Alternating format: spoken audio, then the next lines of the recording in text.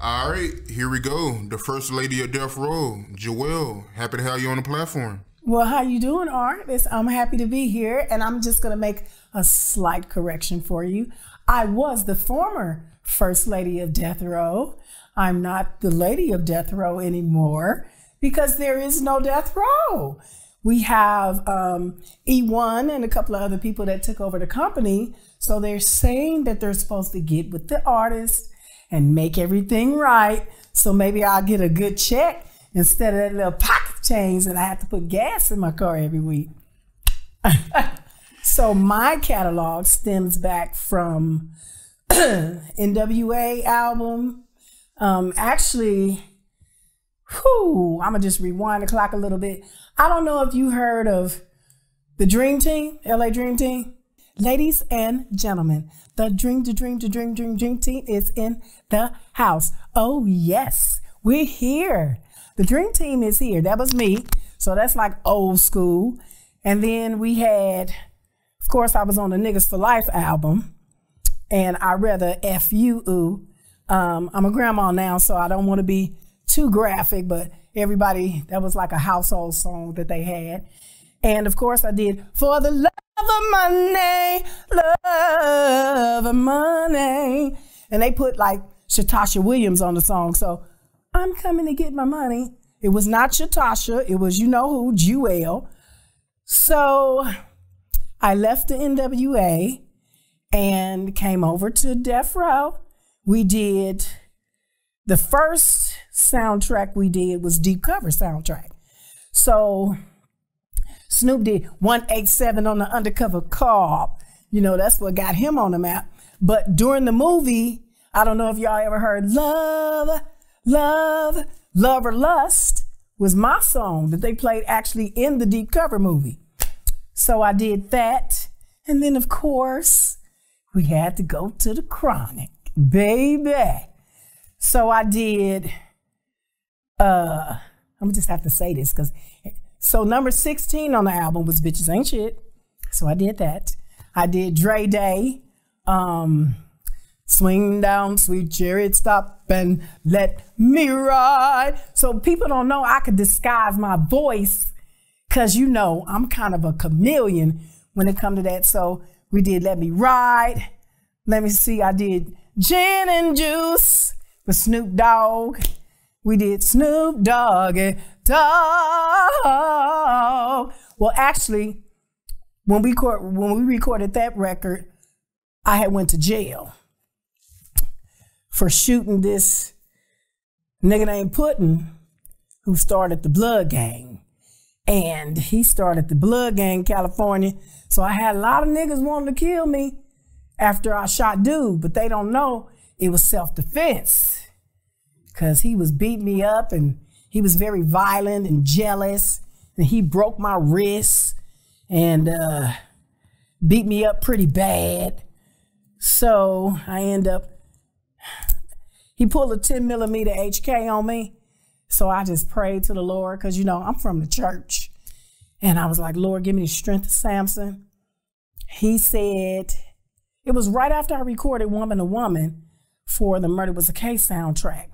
And he said, I'm going to kill you, and I'm going to kill your son, and then I'm going to kill myself. And I was like, oh, my heart got the beating.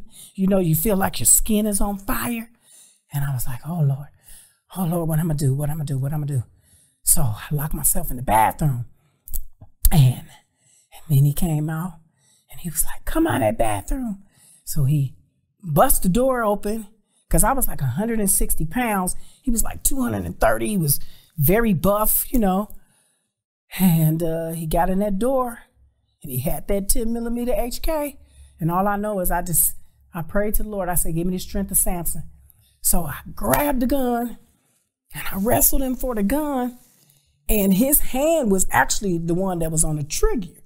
So he ended up getting shot in the chest during the uh, the struggle.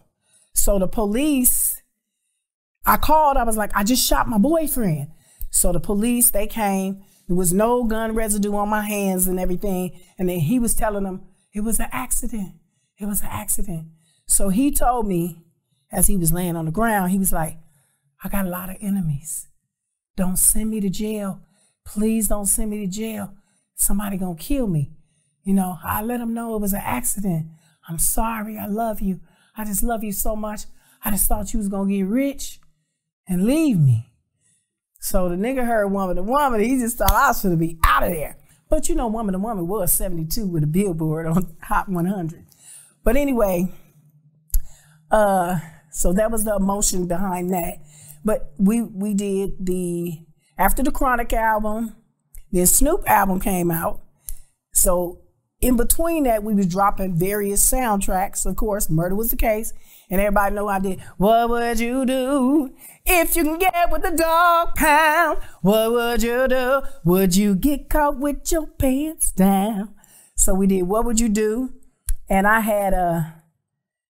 It's not deep enough on now, you know. So murder murder was the case that they gave me. So I did the backgrounds on that. You know, it's like every song, well, mostly every song. I can't, I can't take credit because To Live and Die in LA was a good song. Val Young was on that. But if you want to see what was under my belt, mostly every song I ever did, I wrote my own lyrics.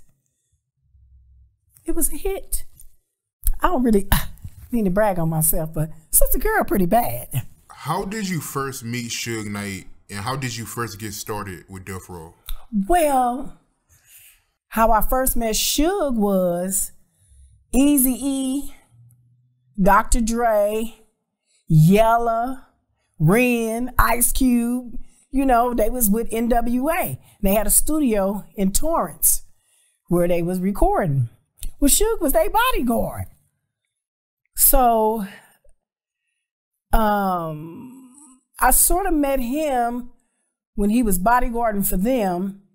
And then we had a place called Marla's Memory Lane back in the day. So Lachelle was like, Jewell, now we call her Lachelle, that's Suge's natural blood cousin. And um, she was like, I'm gonna take you up there to meet Dr. Dre. So I had actually met Suge before I met Dre. Um, now this is before I end up going to the studio. So that's where I met Dre first at Marla's Memory Lane. And then he told me to come to the studio in Torrance. And that's where I met Easy E and Suge, because he was the bodyguard. So I did all that music for them. Then they went on tour with Guns N' Roses. So we had a few shows, you know, like here and there. And then when they came back, they wanted to start their record label. And that's when I got a call and was like, meet me up here. They wanted to sign me. So me and DOC was actually the first artist ever signed, not to Death Row, but to Future Shock Records, which was Lydia, Michael Harris, and Suge's label. Then Suge wanted to start his own thing with Jimmy Iovine and Interscope. And that's how we came up with Death Row. Now, Bad Boy was popping. Uh, Russell Simmons label was popping. So, you know, Def Jam was out, you know, all these other names. So they was trying to come up with a name and they was like Death Road and, you know, all this other stuff just kind of like sitting there. And this is why we was recording the Chronic album. And I'm like, I said, Dre, all of us got cases pretty much. So we should call it Death Row. And we should put the man in an electric chair. That should be the logo and the design. He was like, hell yeah, that's dope. So the first logo was actually drawn by this lady named Nedra. She just did like a little blueprint just to get, you know, the logo with the man in the electric chair. And then later on, they got Hen G to draw the official Death Row logo. You was on Death Row when it first started. How was it like being on death row before all the drama? We were like family. We were hungry. We was in that studio day and night, and we didn't come out until we had them hits. We was eating Popeye's chicken every day. Uh, some of us was still struggling, and I think I was still getting food stamps at the time. So I would be cooking food and then bringing it to the studio while I was just now getting started as an artist. You know what I'm saying? So it was like family. We were like family, you know? So in the beginning, when everybody was together, I think that's what made it so important because the recipe, a little flavor from everybody, we were all equally as talented. You had Snoop, Dre, DLC, Warren G, Lady of Rage, Dog Pound, RBX. Who does that? You know what I'm saying? So it was like the next Motown, but with that gangsterism. You know what I mean?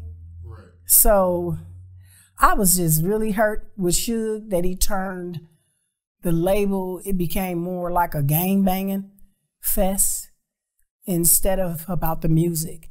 It started becoming more about the streets. So what was the plan Suge Knight had for you? Because you was on Doggystyle, you was on Gin and Juice, and Murder Was the Case. And you know, at that time, man, I mean, Doggystyle was like the biggest thing out. So what was the plan Suge Knight had for you? So originally, my album was supposed to come out like shortly after the Chronic, okay? But with Snoop and how 187 on Undercover Cop just really hit, he said, Hey, relative, we're gonna put the Snoop out, but you're gonna be all over it, so you're gonna get some publishing, you're gonna get some, you know, some shine and whatever, whatever. So you couldn't deny that talent, you know what I'm saying? and I'm a team player. And uh, I was like, cool. But then when Snoop came in the studio, he ended up bringing Warren G. Warren G brought the dog pound.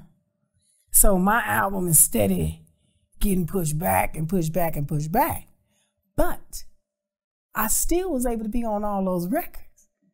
So although visually, I was a juicy girl. Back in them days, they wanted a Slim Jim. So I was never seen, but my voice was heard. So you never really saw me in any videos until, like I said, uh, I shot the Puddin guy. I went to jail I'm very OCD, so I didn't want to eat none of the food. So I was in there for three months, first and facing first it was attempted murder, then a murder charge. So I lost a gang of weight, only drinking my milk and eating an apple for three months. So I was a skinny girl when I came out. So they put me in the What Would You Do video. that's when I had the boobies kind of up was looking kind of right, you know what I mean? So I did that. What would you do video? And the hits just kept coming. So in between those albums, we was doing soundtracks. But the bad thing about that is, now Suge was a very brilliant man, don't get me wrong. He was a little cuckoo for Cocoa Puffs, but he was a brilliant man. But systematically, Instead of him having like a rap division, a R&B division, a country division, and releasing some of these albums, we had to do like one after the other. Just like M&M's. You can suck them down and eat the peanut, but you just got to have one after the other. So it kind of slowed everything down. So I wasn't never upset with the process, but I was mad that my album really never came out. And then I went on national TV, and this is back in the day when BET really didn't have a, a audience, and you just kind of performed for Shirley and what was the guy with the green eyes? What was his name? Donnie Simpson. Um, so I went on there and I performed Woman to Woman and one of the songs from my Black Diamond album and told all the people, my album coming out. This was 1995. It's called Black Diamond. And I did like an epic performance. And shortly after that, I just got on the shelf. So, Suge, let me just let y'all know this little secret, okay? Me and Suge was more than just friends. He was like my brother. Ah, y'all thought I gave him some. Nope. And he never got the Jewell experience. Nope. Um, we was more like brothers and sisters. So I think that's kind of where my album kept getting pushed back because he was like, you know, you know how you do family sometime. Like she'd be I, you know what I'm saying? So he just treated me like family, but he never gave me the credit that I really deserved as an artist. Let's say, okay, so I did this one picture with me over some railroad tracks, and I was in a sexy, like two piece, like a long thing with the shorts. And this was right after Woman to Woman had kind of like blew up. Well, they put me in a Rolling Stone magazine and they was like, oh, this artist right here, this lady is a force to be reckoned with. And she was gonna say, you ain't doing no more magazines, relative. I don't want you all in the public like that. And I'm like, huh? But they gave me like so much credit. But he didn't, he wanted me to just sit down and just wait.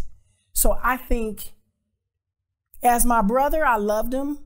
But as a man that was kind of like in charge of my career, he didn't appreciate or respect my contribution to those $550 million worth of records that I helped him sell.